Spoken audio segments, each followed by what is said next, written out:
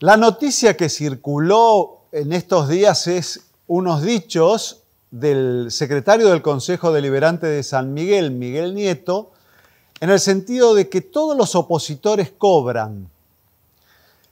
Si lo dejamos ahí, bueno, eh, mucho no nos sorprende porque sinceramente eh, la democracia se fue degradando en este aspecto. En lugar de luchar contra el clientelismo político, que es una perversión, es un, es un hecho en sí corrupto, entregar algo para conseguir un beneficio electoral.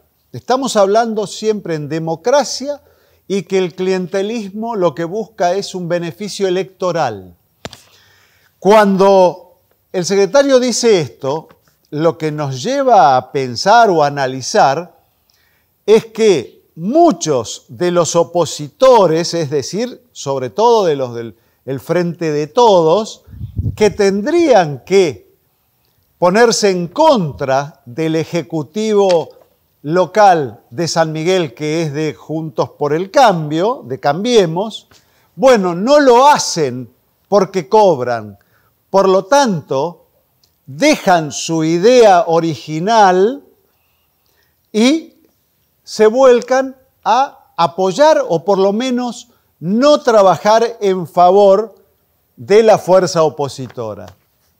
Evidentemente, si analizamos las últimas elecciones, donde el, Frente de Todos, el Partido Justicialista, ganaba a nivel nacional, provincial y en toda la región, y en el único lugar donde no ganaban es no ganó el, Frente de Todos, es en San Miguel, bueno, esta eh, expresión cobra volumen y tiene un asidero con los resultados electorales.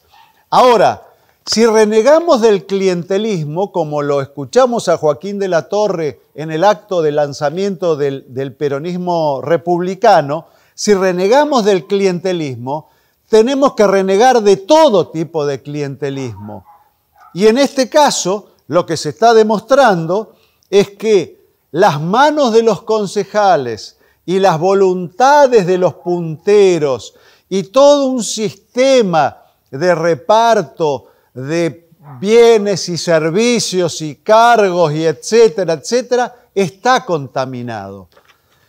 Es la democracia imperfecta lo que estamos viviendo, por eso decaen los partidos políticos, decae la lucha de las ideas, decae un concejal que se opone o que se manifiesta con autonomía, no es puesto en la lista en la elección siguiente. Por lo tanto, hay un sistema que perversamente lleva al clientelismo.